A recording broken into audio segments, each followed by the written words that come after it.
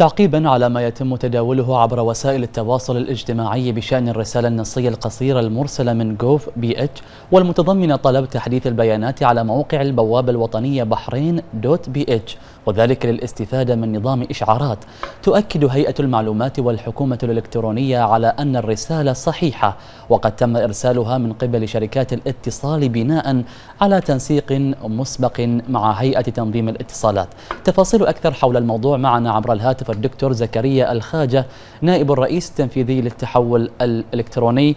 بعد التحية دكتور زكريا كيف يمكن تطمين المواطنين والتأكد من أن عملية التسجيل هي عملية صحيحة؟ بسم الله الرحمن الرحيم. طبعا أشكر في البداية تلفزيون البحرين على اهتمامه لمشروع إشعارات.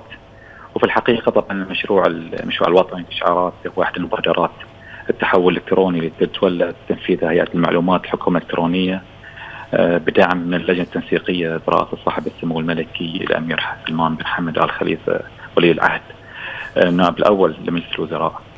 آه، طبعا المشروع بحد ذاته هو يهدف إلى ضمان وصول الإشعارات والاختارات الحكومية إلى أصحابها طبعا بشكل فوري ومن دون أي تأخير بدل من طبعا المعاملات الورقية والبريد اليدوي.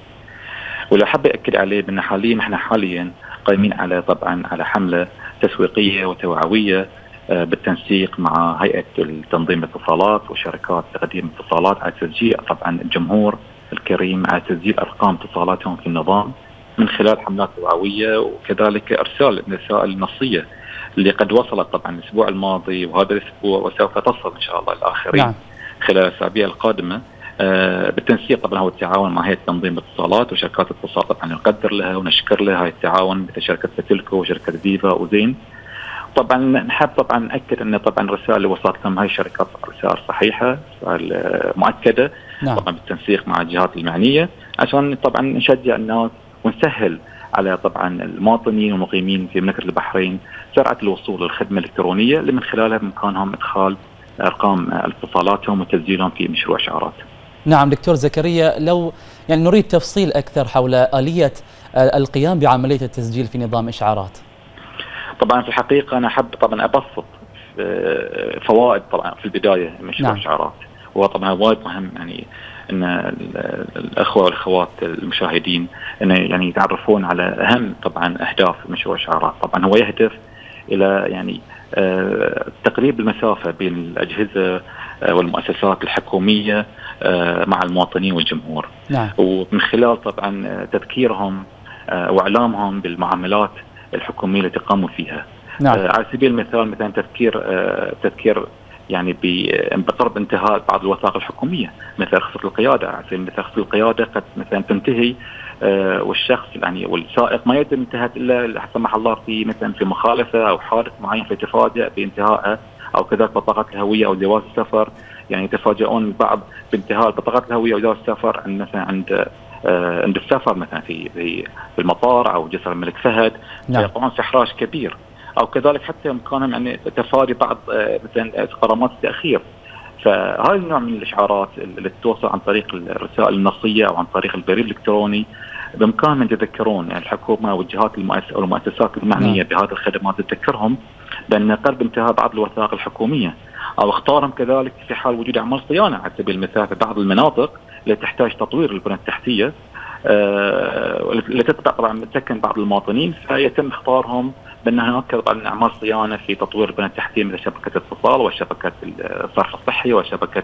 الكهرباء. نعم. ويعني يعني ممكن بعد نضيف ذلك استحداث بعض بعض البيانات. يعني كثير من الجهات الحكوميه تحاول تتواصل مع جمهور أو بعض المواطنين المقيمين وما عندهم وسيلة اتصال لتحديث بياناتهم السكانية مثلا الخدمات الإسكانية أو كذلك الدعم المالي.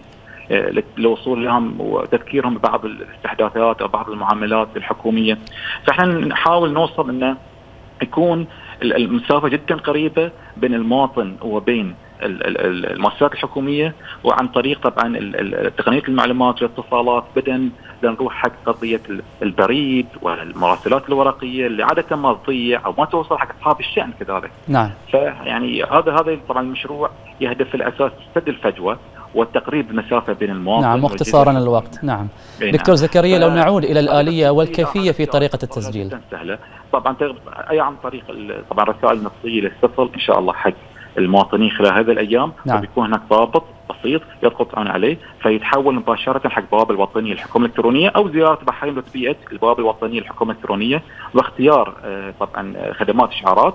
من خلال الخدمة بإمكان الدخول على الخدمة وإدخال بعض البيانات الرئيسية حق المواطن عشان النظام يتعرف عليه بشكل صح نعم. وإدخال رقم الاتصال للمواطن ورقم والبريد الإلكتروني ومن ثم يتم التأكد من الهوية ويتأكد من رقم الاتصال هو صحيح يتبع المواطن أو الشخص اللي تم تسجيله في هذا النظام وتنتهي طبعا نعم. اجراءات التسجيل بكل سهولة وطمأنينة وبالعكس بتكون بيانات المواطنين أكد عليه جدا حريصين على تأمينها وتكون في حماية شاملة آه، من غير آه، تتسرب أو تشهد لاجهزه أو أو مؤسسات آه، غير معنية ببيانات المواطنين وهذا نعم. الهدف الرئيسي أن نمنع أن تكون جميع الجهات عندها بيانات المواطنين فتكون في مركزية في قاعدة بيانات واحدة بمكان محمي مسؤولة من جهات جهة حكومية واحدة ومن ثم يمكن استخدامها للأغراض الرسمية فقط. نعم الدكتور زكريا الخاجة نائب الرئيس التنفيذي للتحول الإلكتروني شكرا جزيلا لك.